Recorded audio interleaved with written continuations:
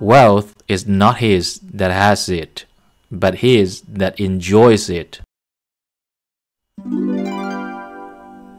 It is not the creation of wealth that is wrong, but the love of money for its own sake.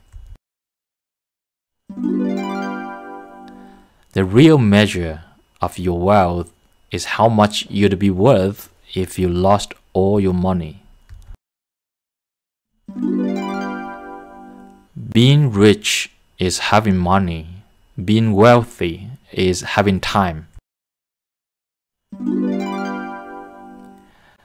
So many people spend their health gaining wealth and then have to spend their wealth to regain their health. The first wealth is health. Wealth is a tool of freedom, but the pursuit of wealth is the way to slavery.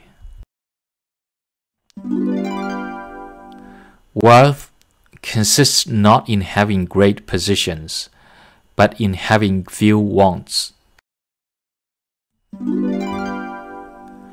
You aren't wealthy until you have something money can't buy.